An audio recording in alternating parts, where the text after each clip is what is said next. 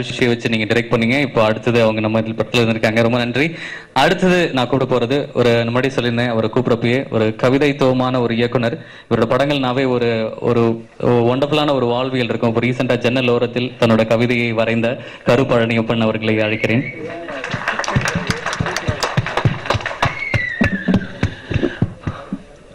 அரங்கத்தில் இருக்கும் அனைவருக்கும் வணக்கங்கள்.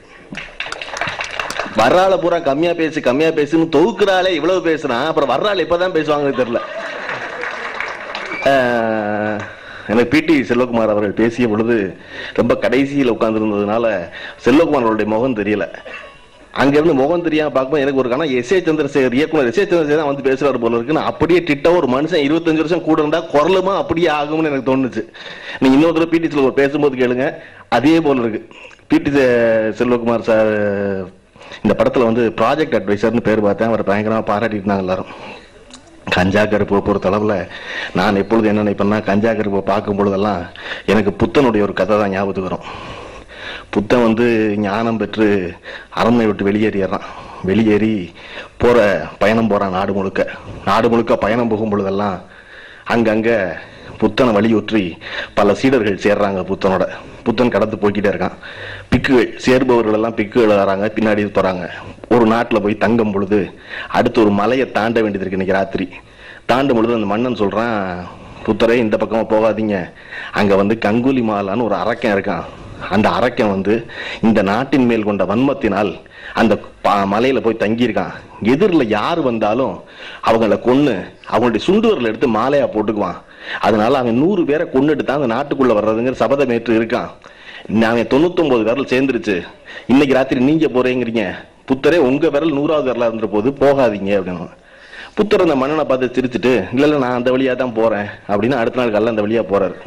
போனால் அரக்கன் வந்து ரொம்ப நாளாக காத்திருக்கான். தொண்ணூத்தொம்பது விரல் சேர்ந்துருச்சு இன்னும் ஒரு விரல் வேணும். உள்ள கோய்க்குள்ள படுத்திருந்தவனுக்கு லேசா மனுஷ வாடை வீசுது. யாரோ வந்துட்டாங்க போல இருக்கே சபதத்தை முடிச்சிடலாம்னு நினைச்சு லேசா அரக்கன் பிறண்டு படுத்து வெளியே வந்து பாக்குறான் வெளியே வந்து பார்த்தா தூரத்தே புத்தர் வந்துகிட்டு இருக்காரு. இவன் பாக்குறான் வெளியே வந்து நிற்கிறான் இப்போ புத்தனுக்கும் தெரியும் இங்கே ஒருத்தன் நிற்கிறான்னு இவனை பார்த்த பிறகு புத்தன் தொடர்ந்து நடந்து வர்றான்.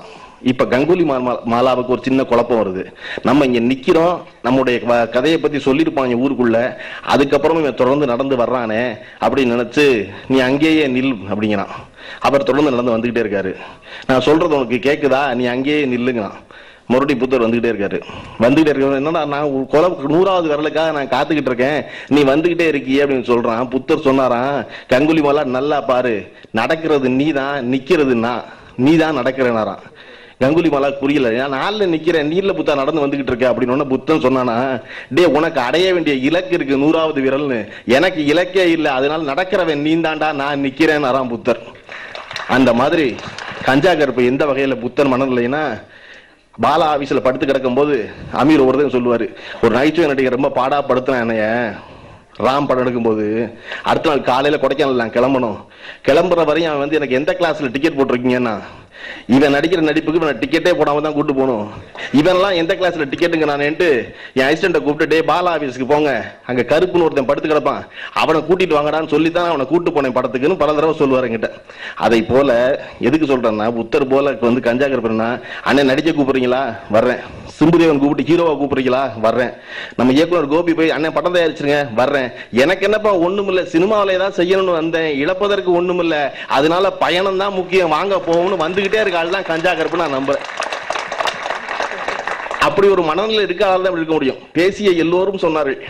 ரொம்ப எளிமையான ஆள் ரொம்ப இன்னசென்டான ஆள் ரொம்ப வெள்ளந்தியான ஆள் ரொம்ப சின்ன குடும்பத்தில் எளிய குடும்பத்தில் பிறந்தவர். இன்னொருத்தர் வந்து எளிய குடும்பத்தில் பிறந்தவர் சொல்லாதீங்க. எல்லோருமே எளிய குடும்பத்தில் பிறந்தவன் தான் என்ன பல பேருக்கு அவங்க அப்பா எளிய குடும்பத்தில் பிறந்திருக்கான். அதனால மகன் பணக்கார குடும்பம்.